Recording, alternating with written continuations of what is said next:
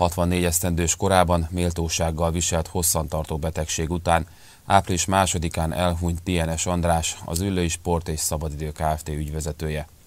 András személyisége, szervezőkészsége, határtalan munkabírása, pótolhatatlan veszteség az üllői közösség számára.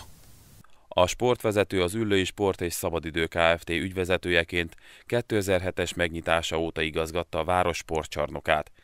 A regionális futszál bajnokság Pest megyei sportjában listavezető Üllői DSE csapatát alapítása óta edzőként segítette.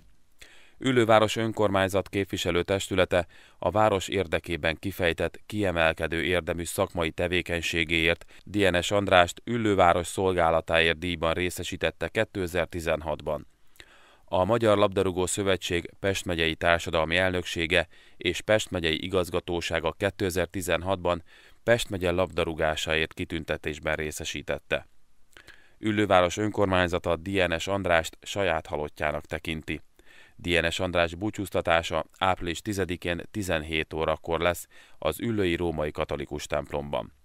A búcsúztatást követően kegyeletüket az Üllői Város sportcsarnok előtt egy mécses meggyújtásával és egy szálvirággal róhatják le azok, akik az elhunytat tisztelték és szerették.